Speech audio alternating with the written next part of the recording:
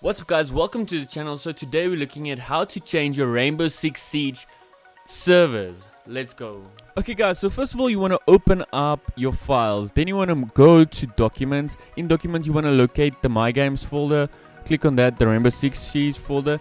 And then you want to click on this file guys.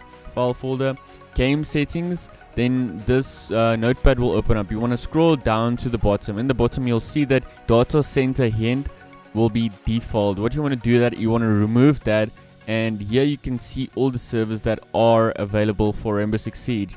For let's say example, I want the Western Europe server. You want to copy this and just paste it here, guys. So what? A few tips. Just make sure there's no space between the equal sign and the play fab you want to include the playfab uh, forward slash whatever server you want to choose and um, no space after the Western Europe or whatever server you're choosing. Then you just want to close that. It will ask if you want to save the changes. You just say save.